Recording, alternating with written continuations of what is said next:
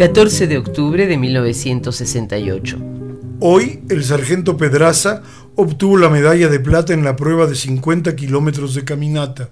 Esta primera presea olímpica alcanzada por un deportista mexicano ha bastado para que el ejército sea colmado de elogios de la oficialidad gubernamental y sus incondicionales y para que se multipliquen las apologías de la institución y la vida castrenses. La radio, la televisión y los diarios no hablan casi de nada más.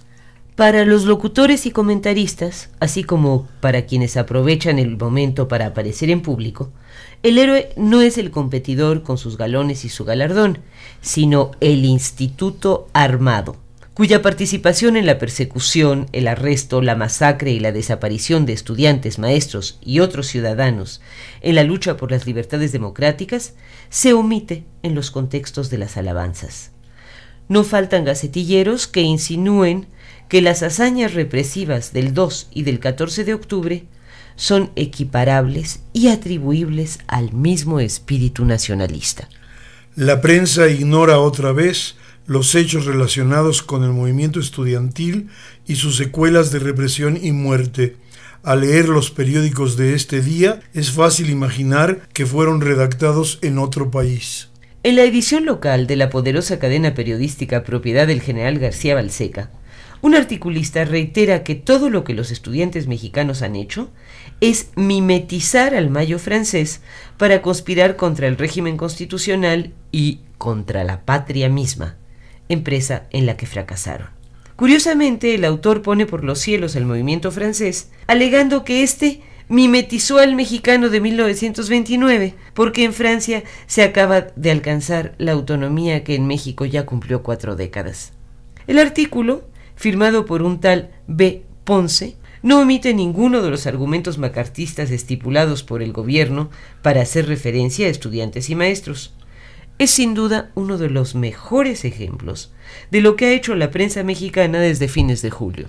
Por otra parte, en algunos medios ha circulado el mensaje de la conferencia del episcopado mexicano acerca de los disturbios antes de las Olimpiadas de 1968, firmado el pasado día 9 por su presidente Ernesto Corripio Ahumada, arzobispo de Oaxaca.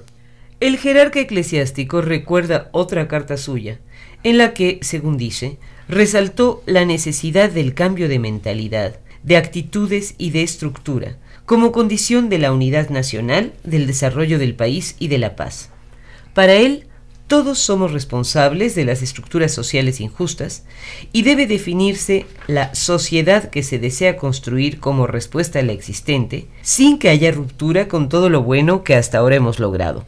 No enumera tales logros, pero sí proclama que no basta la emoción efervescente, la indignación agresiva que impela a destruir lo que parece símbolo de opresión. El presidente del episcopado afirma que comprende bien la difícil tarea de gobernar y que no podemos aprobar el ímpetu destructor ni el criminal aprovechamiento de las admirables cualidades de la juventud para inducirla a la violencia, a la lucha anárquica, al enfrentamiento desproporcionado, aun cuando fueran nobles las motivaciones. Se debe imponer la fuerza de la razón que se traduce hoy por el diálogo, dice Corripio Ahumada. Muchos de los conflictos son reveladores de su ausencia o de su mal funcionamiento, pero hay que creer en el diálogo, de lo contrario, solo queda la violencia contra algo o contra alguien, no hacia algo.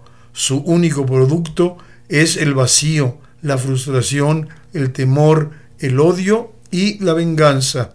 Sin hacer la más remota referencia a la masacre de Tlatelolco, que tuvo lugar siete días antes de que firmara su mensaje, Corripio concluye citando al Paulo VI de Medellín.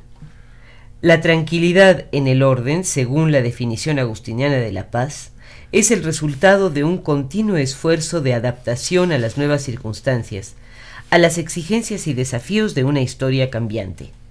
Una paz estática y aparente puede obtenerse con el empleo de la fuerza. Una paz auténtica implica lucha, capacidad, conquista. Para el cristianismo, sigue diciendo el arzobispo de Oaxaca, los cambios bruscos y violentos de estructuras serían falaces, ineficaces y no conformes ciertamente a la dignidad de pueblo que reclama que las transformaciones necesarias se realicen desde dentro, es decir, mediante una conveniente toma de conciencia, una adecuada preparación y la efectiva participación de todos.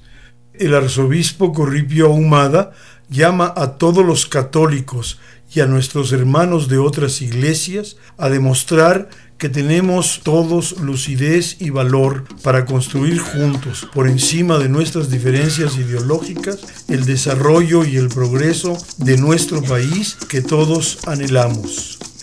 Y de esta manera concluyó el día 14 de octubre de 1968.